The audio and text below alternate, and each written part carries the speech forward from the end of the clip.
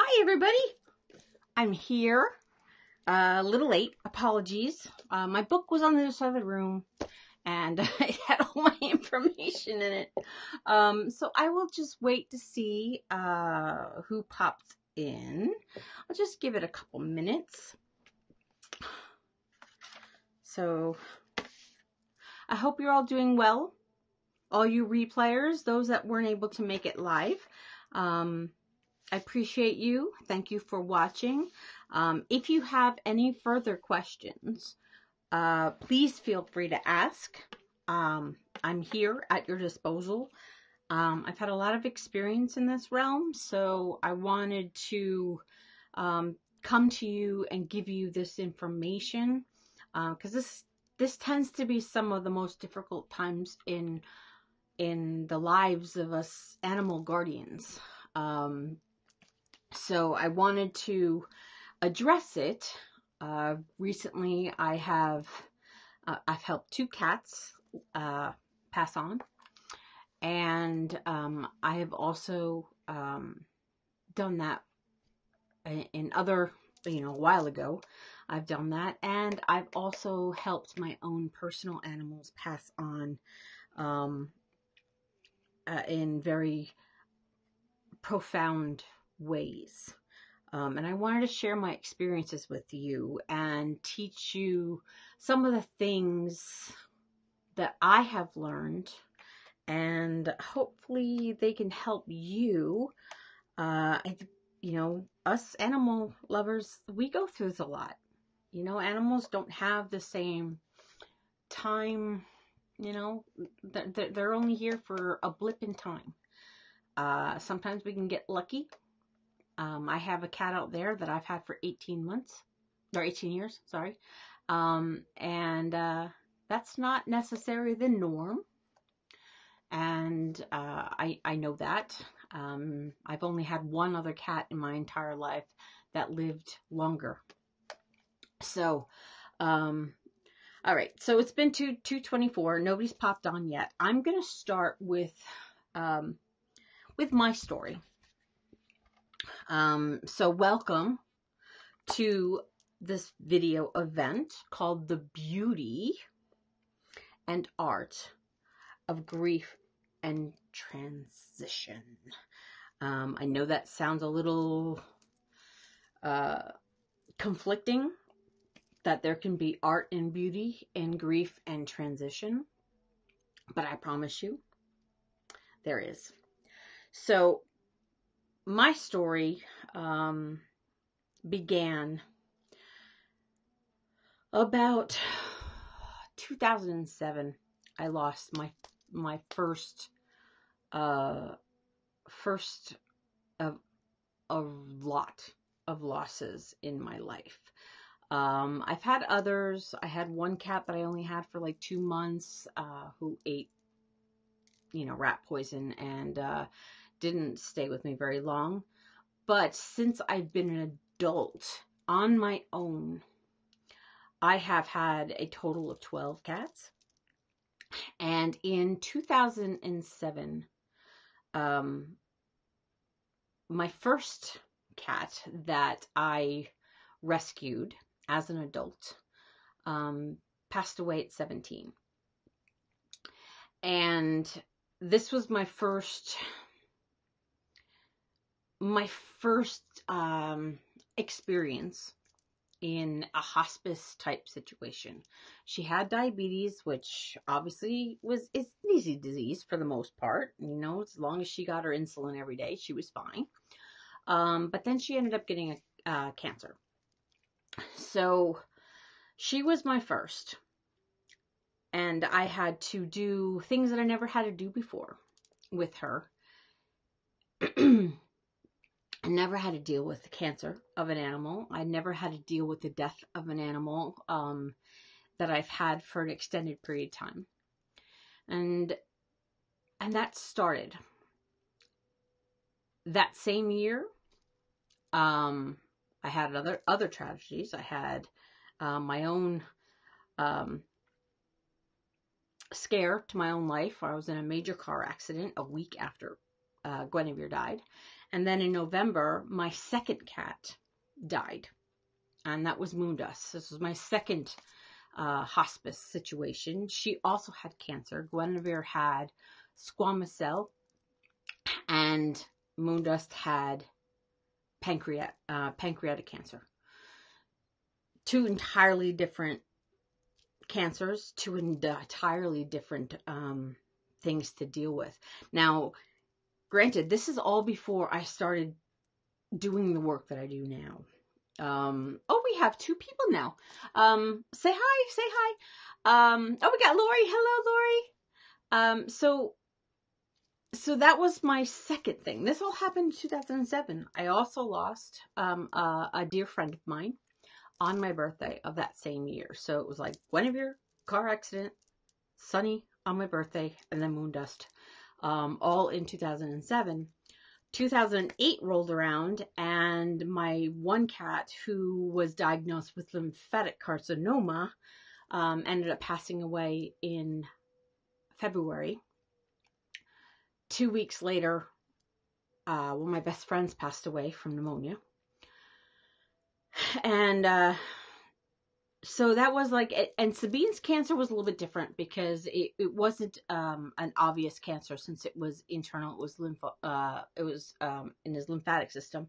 So i would have a little he had a couple little surgeries to get like i called them little peas little peas of cancer out. Um, but i had to you know hospice care for him.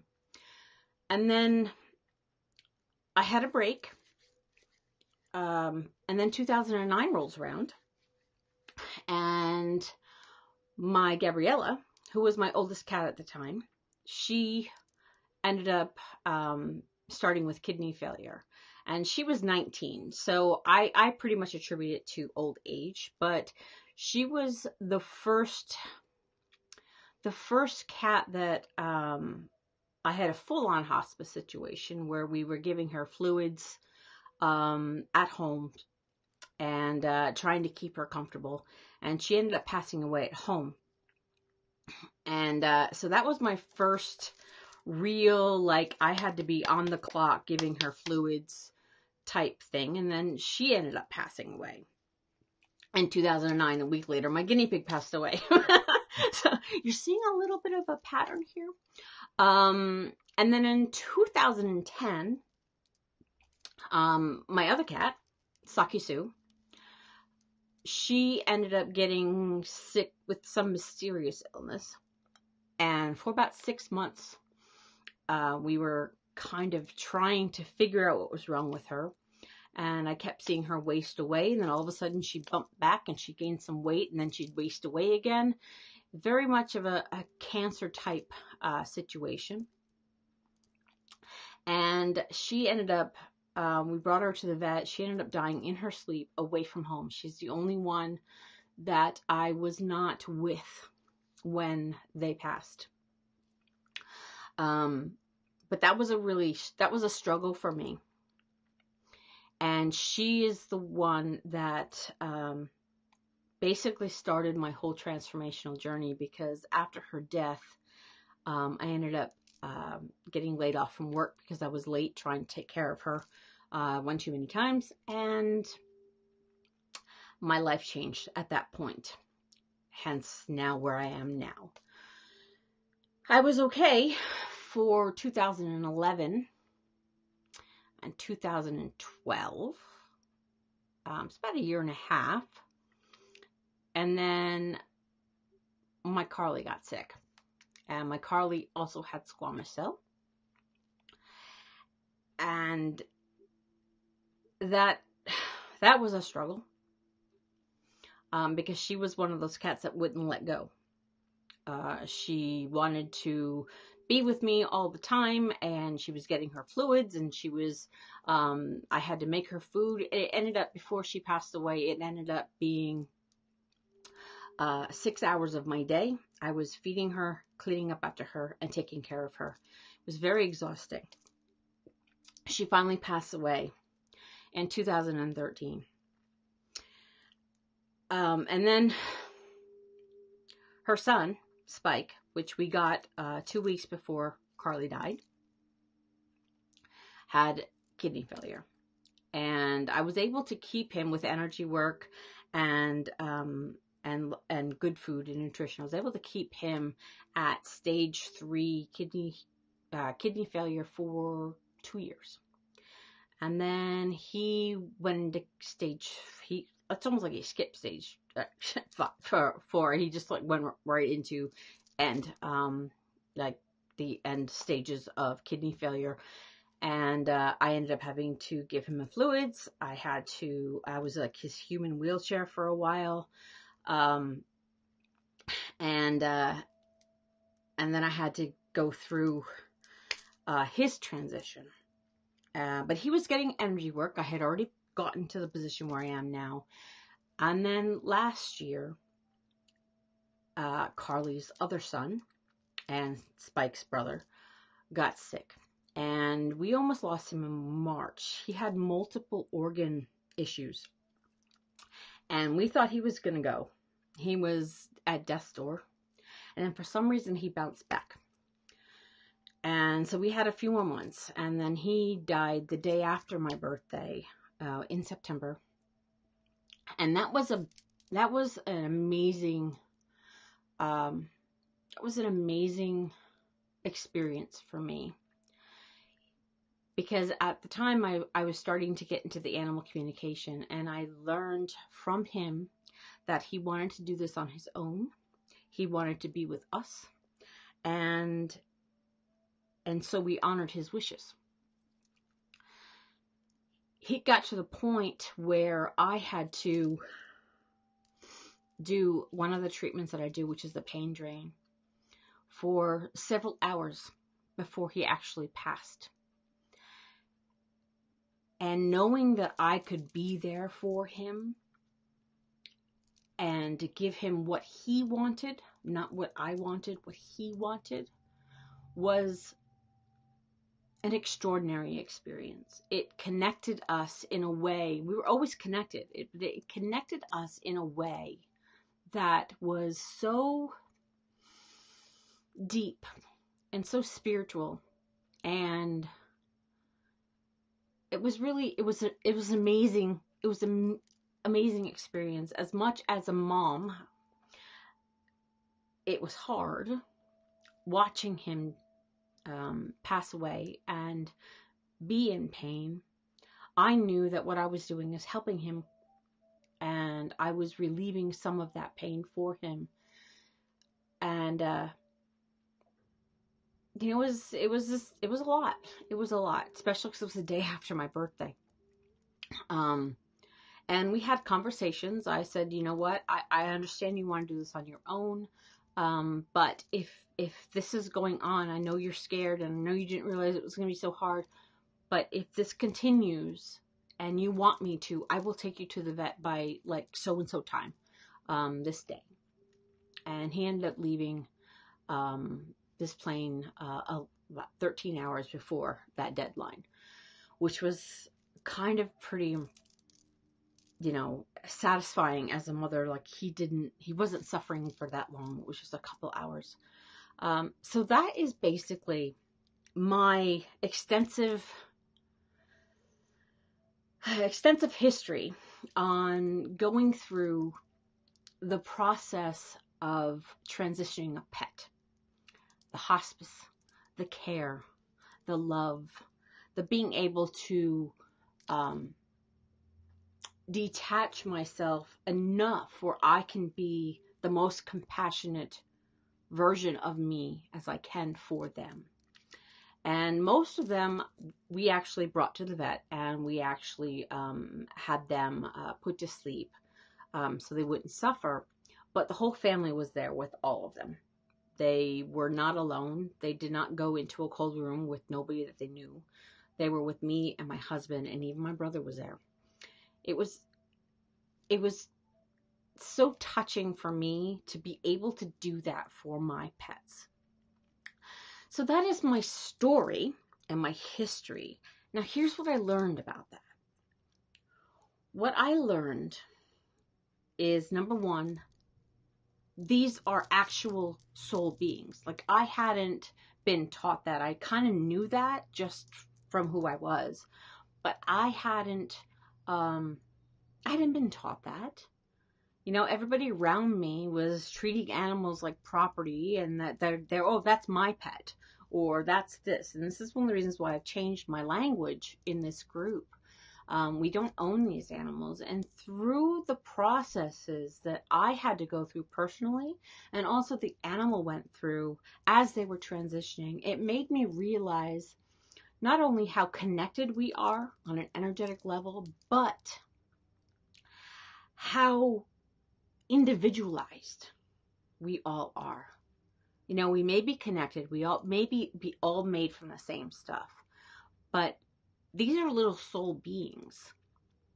These are sentient soul beings that have emotions and wants and needs and desires that typical society doesn't think about. You know, we see, you know, how how some of the factory farmers treat animals with such disdain and like they're not even um, energetic souls, um, which I can't watch things like that. That like literally as an animal empath, that breaks my heart.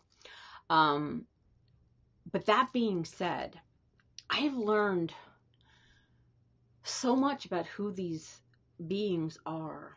And the other thing I learned is compassionate non-attachment, which is very difficult it's very difficult to do.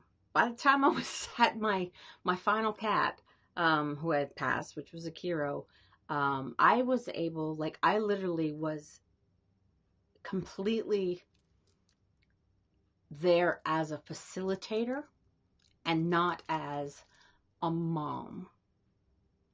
Um, because that's what he needed. He wanted my mom energy, but he wanted somebody to support him as he did what he wanted to do. Um, so those are the things I learned. Now, I want to also find out what you want. So that's the basic story. Um, so we're going to have some question and answer things. If you have questions, um, I will do my best to answer them and we can figure out um, how to move forward if you are dealing with a, a grief or a loss um, and how to honor these beings as best as we can. So we have, oh, we got Angela and Vicky. Hello, hello, hello. Oh, oh gosh, yes, Vicky. I know people teach that animals don't have feelings. They don't have they they can't feel pain. I've actually heard people say that animals can't feel pain, um, and that they don't have souls, which is so. It, it, I mean, if we're all created by the same God, we all have a piece of Him. So that means we all have a, a sentient consciousness within ourselves. Um, so, so I wanted to, I have a couple little notes. Like, I don't know how long this is going to go. I wanted to tell you my story, where I where I'm getting this from, um, and like I said, the reason why um, I'm bringing this up now is because I just helped a cat transition um, just last weekend, and um, I helped one in December, and I've also noticed that other people have lost a lot of animals recently. I don't know if it's um, some type of shifting that's going on. Um, but there, we've lo- we're losing, at least in my circle, um, I've had many friends lose um, their animal companions just in the last couple months. So it's been very heavily on my mind, and I wanted to bring this to you because I, I think that we look at grief and the transitioning of our beloved animal companions as a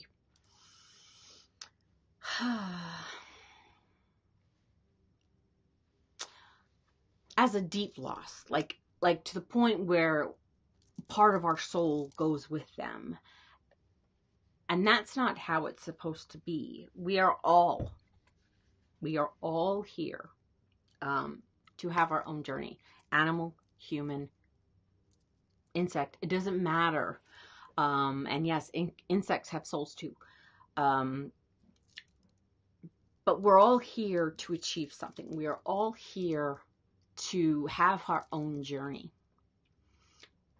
And as separate soul beings, we can't attach ourselves or attach our identity to these other soul beings. It does not serve us very well and does not serve the animal very well, if that makes sense. Non attachment is an essential part of our journey here on this earth. And when it comes to our animal friends, it is very difficult for us to maintain that non attachment because we put so much into them. You know, when we're sad, we want to snuggle with them. Um, when we have a stressful day, they relax us. There is um, this healing connection between humans and animals that has existed for eons. And it's very easy for us to attach ourselves to these beautiful creatures. Um, and when I talk about non attachment, this is a spirituality term. And, you know, as, as a, my new title as energy animal spirituality facilitator. I love that term. Um, it's uh, it spirituality goes very much into the beauty in art of grief and transition. It is okay to grieve. It is okay to grieve. There's nothing wrong with that. What happens and when it gets to be a problem is when we get stuck in the grief process. We're not supposed to, even when we deal with other humans, we're not supposed to get stuck in the grief process. Um, so non-attachment, this is, you know, a, a spirituality term, allows us to maintain the compassion and the loving kindness that we want to share, but also the the separation of soul being that allows the other soul being to be on their own journey.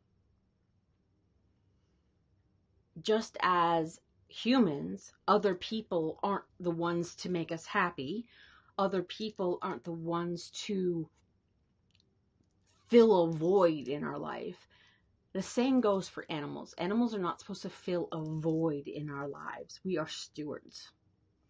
We are guardians we are friends. We are, yes, animal parents. We call ourselves parents because we do feel like they're children to us. But just as children, when they grow up, we need to let go and let them live their own lives. We also need to do that with our soul companions. Does this make sense so far? Um, I know we got three people watching just let me know. Is this making sense? Is this kind of getting anything? I'll, I'll wait a little bit because I know there's a delay. Um, but let me know if this is making sense. And if you have any questions, pop them in the comments and uh, we can address um, any of your issues. So, um, so, anything? Any questions? Just give me like a uh, no questions, something. Because since I'm using Ecamm Live, I don't see like the thumbs, the thumbs ups and the hearts and stuff like that. I don't see any of that stuff. Um, but if you uh, feel so inclined, hit those likes and loves, and um, that'll help the rest of the people in the group um, see the video. It'll put it at the top of the the algorithm for us. Okay, so we got yeah, Angela. Good. I'm glad that makes sense. Um, Vicky, Lori, um, does that make sense to you too? Okay, awesome. Awesome. We got Lori says yes. How about you, Vicky?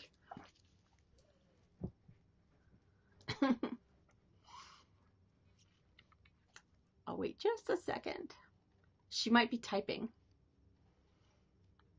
Um, I'm doing stuff while listening. Well, good. Oh, that's that's perfectly fine. Perfectly fine. Okay, well, I'll just I'll just continue, and uh, we'll get uh, Vicky's comment soon. So, I wanted to bring up the, what happens in transition. So, when our animals transition, and this is what I have experienced. Um, I don't know everything. Um, I just know what I've experienced. When my animals have transitioned, they don't go anywhere really. Um, they, it's almost like they break free from their limited body and it's like they it's it's like this beautiful sensation of I'm free. Like they grow wings and they're just like they start to soar. And I've had most of my animals have stuck around a little bit and I have a few that actually when I call on them, they come back and help me in my healing sessions. They help me in my readings. Um, this is not the case for all of my animals. Um, I have two that always, my last two, my Spike and my Kiro, um, Spike is definitely a soul, um, uh, a def, definitely one of my soulmates. Uh, he only was with me for two years. But even though Carly was his mother and Akira was his half brother, Spike came back to me at 12 and a half years old. And once he came, we he was my Buddha kitty. We meditated together. Um, he always had to rest himself like right on my right here. Um, he wasn't a lap sitter. He like had to be across my chest and on my shoulder.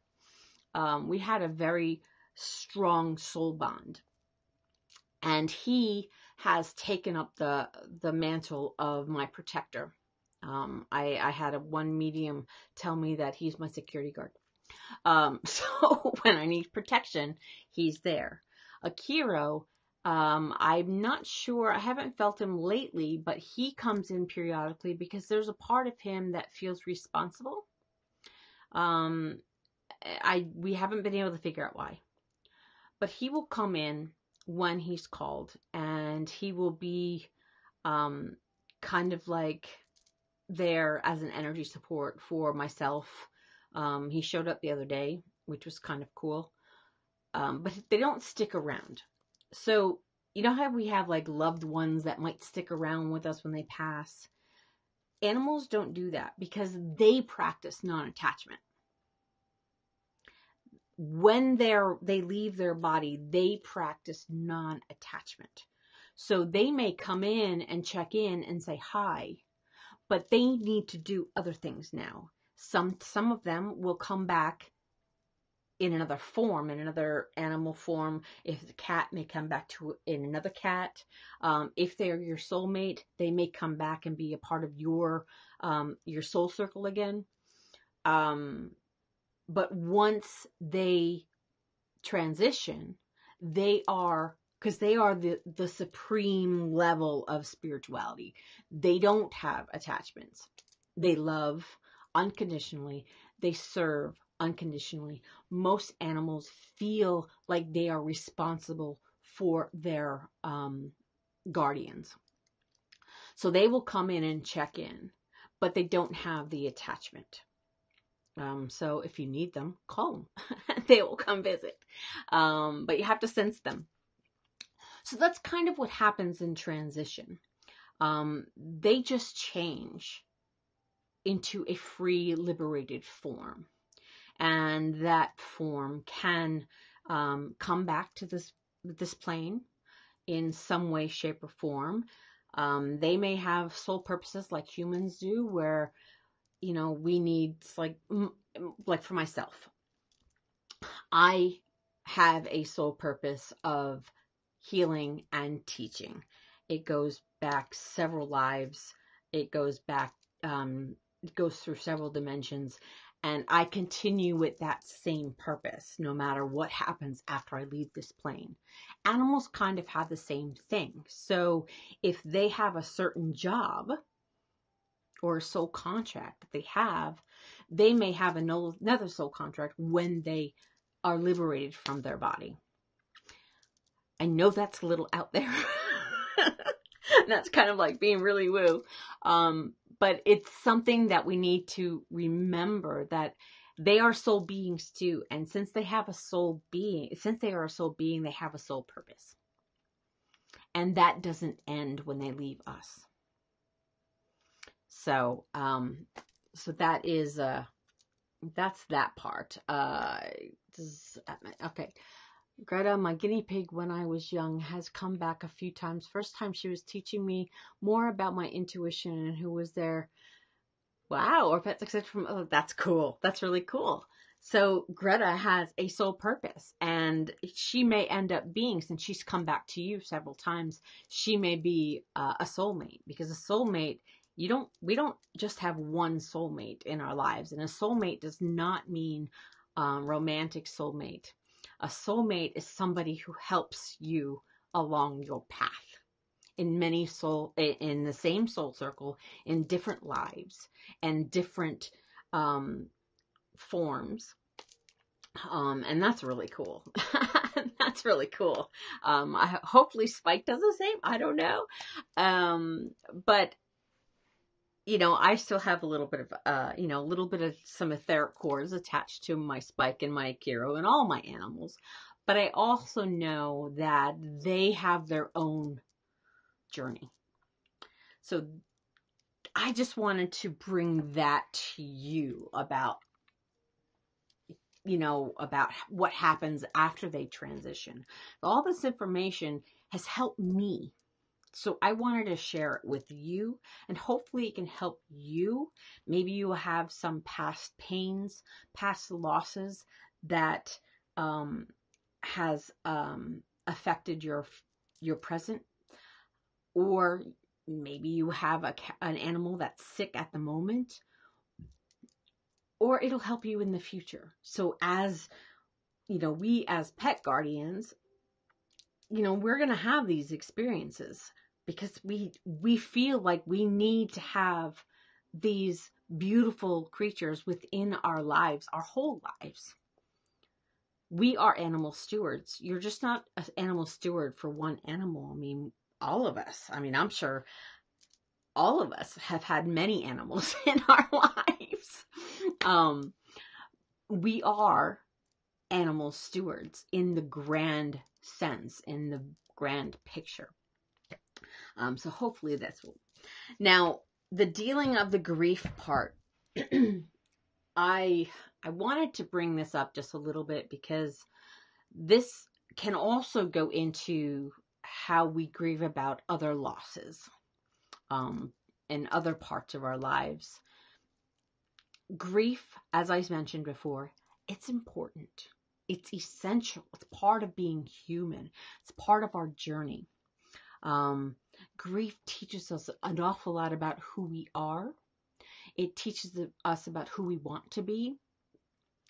And it, it's it's basically it's one of our stepping stones. It's part of the human condition. We can't get away from it. So the best way to handle grief, number one, is non-attachment. I've already described that. I know that's difficult. It's a practice. It needs to be something that we um, we work toward. But we also have to do self care. We also have to realize that being stuck in a grief cycle um, impedes our own growth. It closes our heart to the potential of another soul being coming into our lives to, you know, expand our lives, for us to expand their lives. There's a, I'm not sure who said it, but there's um, some uh, transformational type person, uh, personal development uh, coach that mentions there's a 24 hour rule. I would go a little bit further than 24 hours, but uh, it makes a lot of sense. When something happens, when you have a, uh, a loss that creates grief, you got 24 hours. Grieve all you want. Cry your eyes out. Do whatever you need to do. Get it all out. After those 20 out, 24 hours is over, it's time to pull up our bootstraps, put on a big girl and big boy pants, and we need to start to pick up the pieces to move on. The process may take a little while, and we may slip and fall, which is just normal. It's like a little kid learning how to walk again. When you have a grief moment, when you have, um, when you're in grief, you're gonna fall. We get upset because we're going to miss them. A lot, a lot of times our grief is because of our own, um, I don't want to say selfish because it's really not selfish, but it's our own, um, emptiness that causes our grief. It's not about the other person or the other being or the animal that has passed away. It's about what we're going to lose, what we miss. This is why non attachment works because you're taking on this pain that just chips away at your soul. Grief is important but it is not but it is something that should be just a blip in the grand picture because once you have that breakdown that cry that that release of of longing and loneliness and all that stuff it's time to put the pieces back together so we can open up our heart again to love we are beings of love we were made out of love. We are divine pieces of God's love. And when we sit in grief, we block that. And we need to open those doors again as soon as we can because we need to serve somebody else or some other animal. Does that make sense? I know I'm like way up here in this like whole like woo woo thing, but does this make sense? Um, I don't want to keep, you know, going on and on and on. I have a lot, lot of thoughts about this, but I want to make sure it's relevant to you, um, and relevant to your experience. Um, let me see, we got Sarah, my dog, will be 10 this year. She has arthritis and got worse late 2016. She was pitiful, and it really started thinking of her transition then. I didn't want it to happen and had episodes of uncontrollable tears. Hopefully, she and I are both working on it. I think you are. I think you are. Um, and since, you know, I, I did connect with uh, Clara I think I think that's that's definitely what's happening.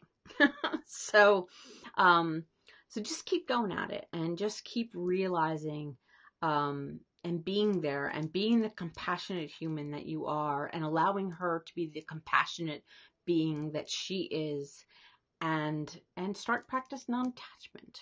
You know, you're there to support her growth or her transition or whatever. Just as I am with my cat Tic Tac, I am here to support her.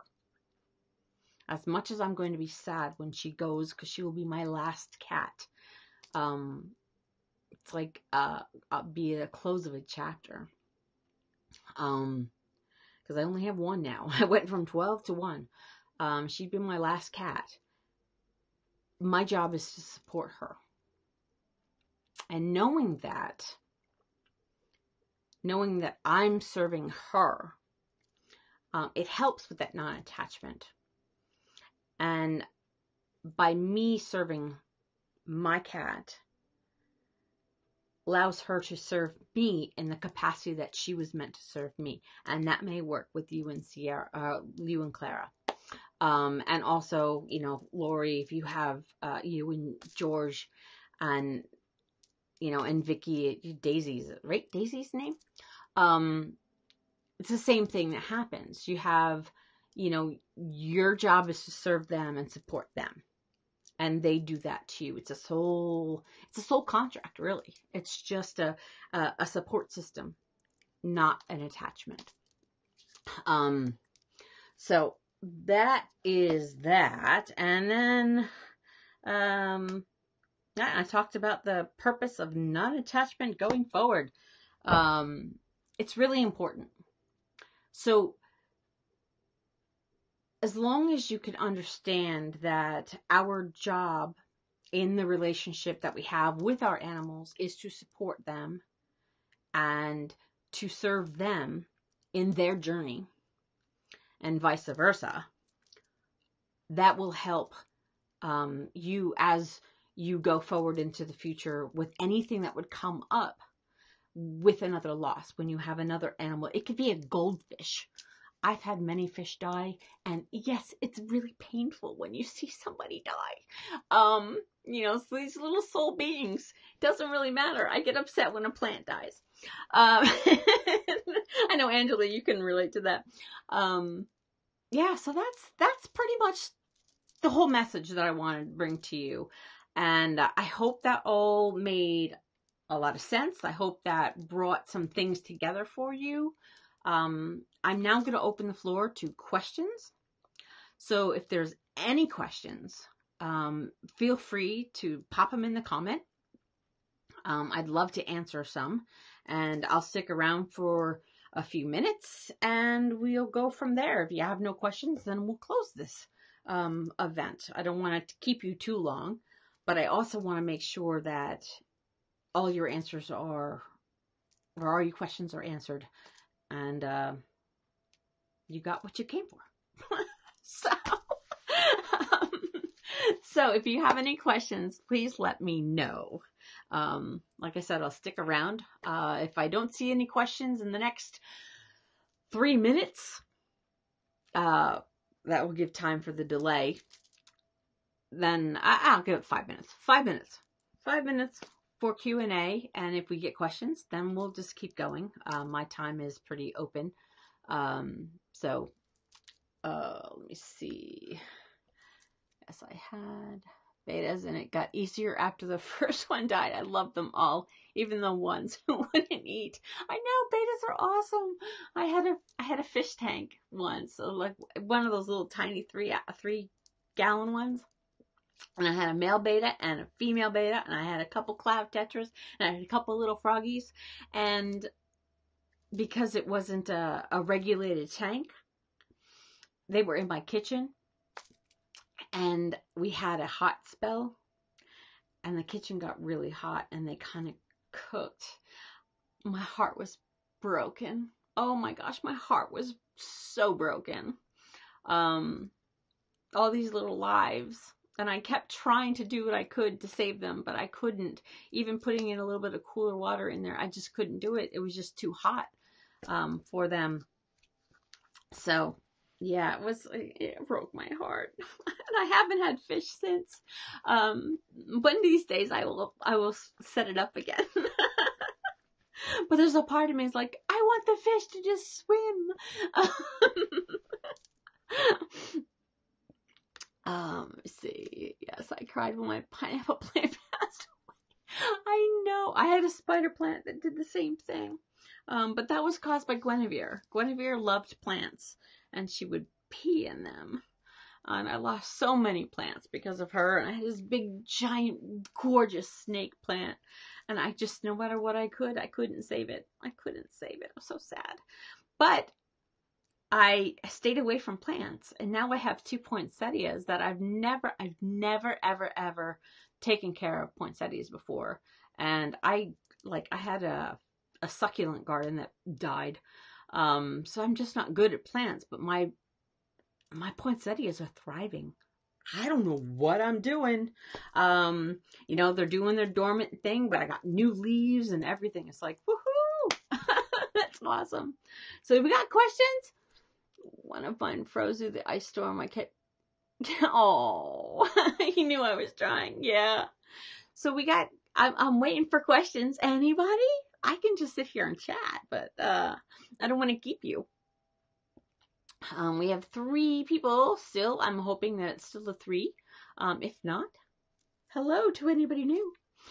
Um, questions, questions. I'm hearing crickets. Crickets on the questions. Am I that good? Am I that good? Did I get so much information and made you so understand everything without questions? Man, I am good, huh? Um, yeah, so feel free. I mean, I, I, I, um, I got, I got lots of information up here and I'd love to share it, but sometimes it's hard for me to organize it myself. So the more you guys ask questions, the more you guys um, give me topics that you want to hear, the better I can serve you. Um, so keep watching my little thing. Uh, the plants adopt us too. Yes, they do. Yes, they do.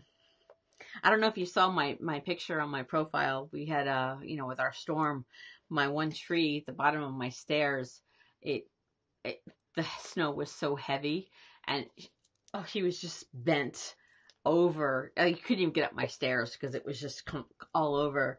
And, uh, and then I took a picture today and he bounced back. All the snow was off him. So he bounced back to normal, which was really cool. Really cool. well, thank you, Lori. I'm, I'm, I'm, I'm glad. I'm, I'm really glad that, that this helped. Um, and, uh, I guess we got like another minute or so and then I could close it.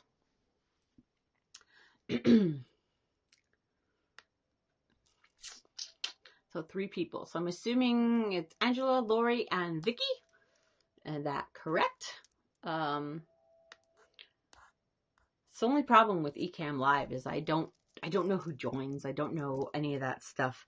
I should probably turn on my iPad, which is like right over here, um, just to see who's watching. Um, but I didn't. Um, but anyway, so if you have, oh yes, I did. more dude, very yeah, he bounced back. Um, yeah. So since we're probably going to close this, um, if you have any topics that you want me to discuss, I know I had the poll when we first started the group, and I do have those topics. Um, but if there's anything specific you ever want me to talk about, um, I can jump in and do a uh, a video, like a quick video to answer your question. Um, I'm willing to do that. That is no problem. So you don't have to wait until like once a week at like eight, nine o'clock at night, um, Eastern time. Uh, so just feel free to give me ideas and anything that you're struggling with. Any questions you have about your pets, if you uh, want uh, an animal read or anything like that, uh, we got the promo is still going on. We got a week left. Um, so we still have the um, that animal reading promo. Uh, yeah, so that's kind of it. That's kind of it. Um, all right, so I guess um, no questions. I'm so good at my job. so I will leave you for the night. I appreciate you stopping by. Um, I appreciate all you replayers that joined and have stuck around this long. Thank you very much. Um, same goes for you. If you have questions, I just kicked the camera, sorry. Um, if you have any questions, feel free to mark it a comment um, of this video and I will come back, tag me in it so I know it's there. Uh, tag me in the comment and I will answer your questions. Um, and uh, I guess that's it. So, uh, we got one more. Let me see. Yes, hugs to you guys too. Um, so have a wonderful night, everybody, and go give your animals cuddles and love them and tell them you honor them and you will allow them to serve you the best they can and that you will serve them the best you can. Support each other. So have a wonderful night and I will see you in the group. Bye.